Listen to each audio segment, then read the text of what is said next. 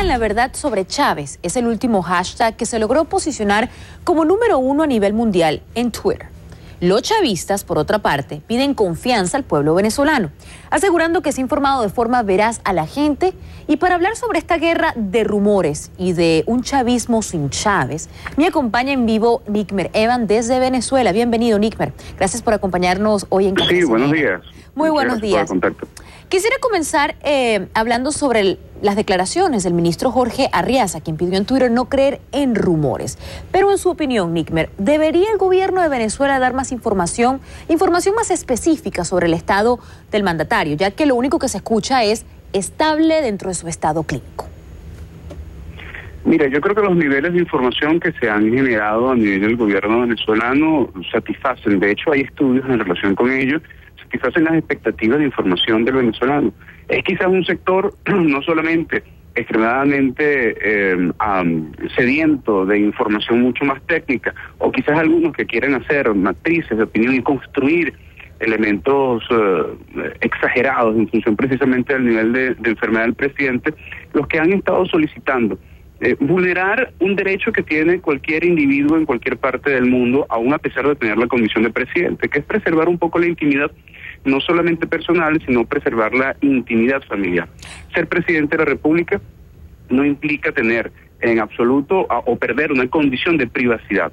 Eh, y creo que además en este momento la familia del presidente Chávez, aún más, que no tiene la condición eh, de ser personeros públicos per se, eh, requieren y han, exigido un poco de privacidad en ese sentido y creo que precisamente en ese tenor se ha mantenido el rigor de los informes que han dado eh, información muy certera en el sentido de que todo todo el mundo todo el mundo entero sabe que el presidente Chávez tiene cáncer que además eh, ha tenido una infección eh, respiratoria que además efectivamente pues esta infección respiratoria ha generado alguna insuficiencia respiratoria. Todo eso ha sido consecuencia esa información consecuencia de los informes oficiales que se han dado.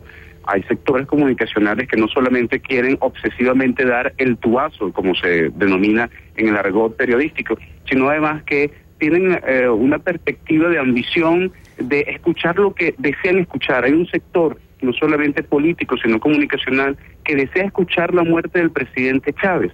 Y eso es lo que andan buscando. Y si no se les dice, pareciera entonces que quedan decepcionados en cuanto al nivel de información. Pero hablemos ahora de una palabra en específico que se han utilizado en todos los comunicados, en la mayoría de los comunicados por parte del gobierno venezolano. Estamos hablando de la palabra estable. Algunos miembros de la oposición piensan que se debería explicar de mejor manera por qué el presidente se encuentra estable.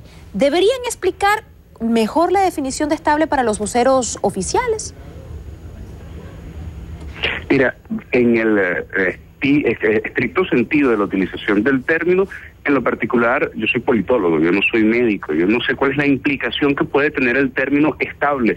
En todo caso, como un ciudadano mortal, como un corriente que no sabe de los términos médicos, cuando ellos me dicen estable, es que no está en ningún estado de crisis, que está en una situación descrita previamente y sobre esa descripción previa genera una condición de estabilidad, en pocas palabras, que hay un control en función exactamente de ese estado.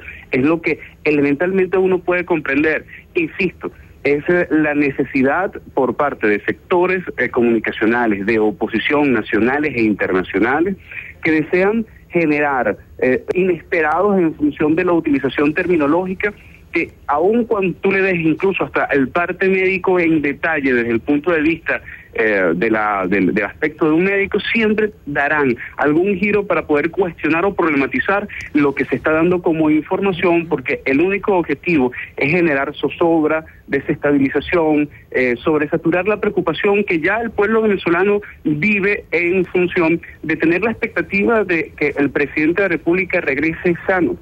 El problema en este momento no es solamente que regrese. El problema del pueblo venezolano es que el presidente regrese en buena salud porque es el presidente de todos los venezolanos. Dejando, dejando a un lado la parte médica y como politólogo, señor Evans, ¿usted piensa que ha mostrado el liderazgo necesario el vicepresidente Nicolás Maduro tras la ausencia de Chávez? Y podría ser precisamente Nicolás Maduro tal vez la persona que continúe el chavismo en caso de que el presidente Hugo Chávez no pueda juramentar el próximo 10 de enero o tenga que renunciar? No tengo ninguna duda que el vicepresidente, en su condición de vicepresidente, ha ejercido cabalmente sus funciones según las instrucciones dadas por el presidente de la República, Hugo Chávez Frías.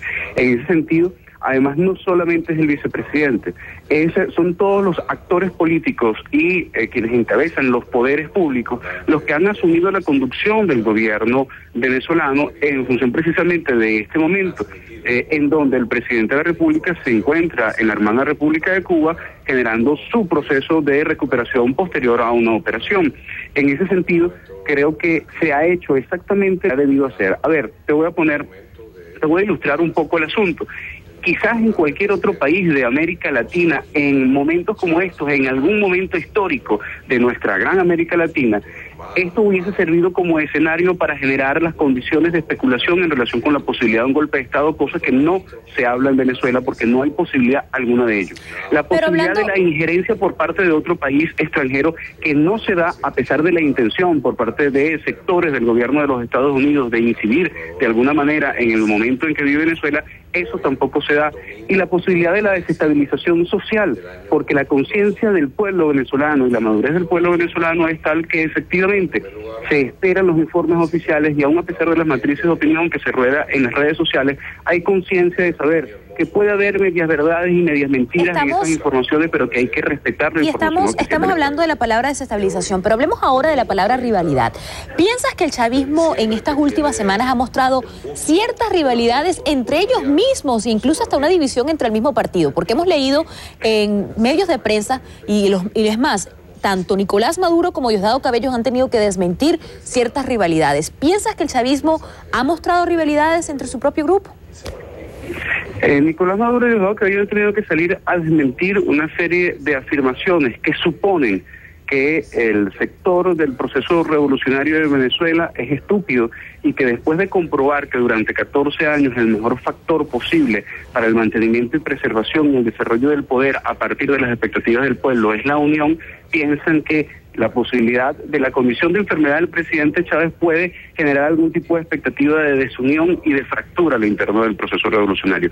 Sería verdaderamente torpe eh, por parte de sectores de la oposición o sectores comunicacionales. El esperar que afirmaciones como esta puedan negar la unidad dentro de la diversidad del proceso revolucionario, porque si algo ha, enseñado el presidente Chávez en Venezuela al grupo de sus seguidores es efectivamente a comprender que la única manera de poder generar y desarrollar el proyecto que ellos plantean es efectivamente la posibilidad del mantenimiento de la unidad dentro de la pluralidad y diversidad. En el proceso revolucionario existen tendencias, existen eh, eh, formas de agrupación y de hecho existen diversas diversos partidos políticos en torno al gran polo patriótico y eso nunca ha sido ningún tipo de obstáculo para el mantenimiento de la unidad y para el mantenimiento del éxito electoral y el impacto social y político que ha generado eh, el proceso encabezado por el presidente. Fecha clave para Venezuela el próximo 10 de enero. Gracias por acompañarnos el día de hoy, señor Evans, Nickmer Evans, profesor de la Universidad Central de Venezuela